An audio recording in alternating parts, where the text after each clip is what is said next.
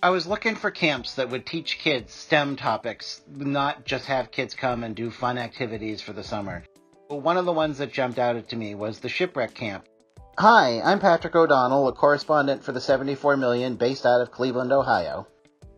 Case Western Reserve University in Cleveland has been running a camp about shipwrecks for students for the last eight to ten years. Well, earlier in the week, we had a visit from uh, a marine archaeologist. Where students learn the science of, of the Great Lakes, they learn about the ecology of the Great Lakes, they learn about waves, they learn about the shipwrecks that have happened out there over the years, and then they get a chance to try and go out and actually try and see a shipwreck in person.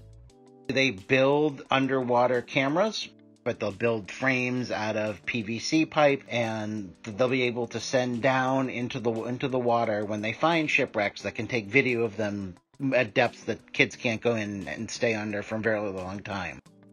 They took a day, the end of July, and they went out to Kelleys Island, which is one of a series of habitable islands a little bit off the coast of, of Lake Erie.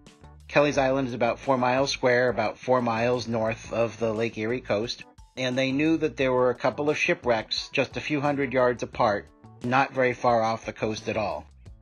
They searched for most of the afternoon and couldn't quite find them. And then they were going to send down the cameras. There was lots of seagrass and lots of silt.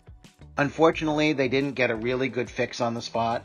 They got a lesson in how science is, a lot of science is trial and error.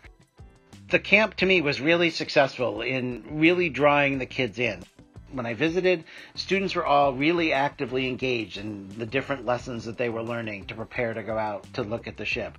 They were all working really hard and they were really, really engaged, and that to me was really nice to see.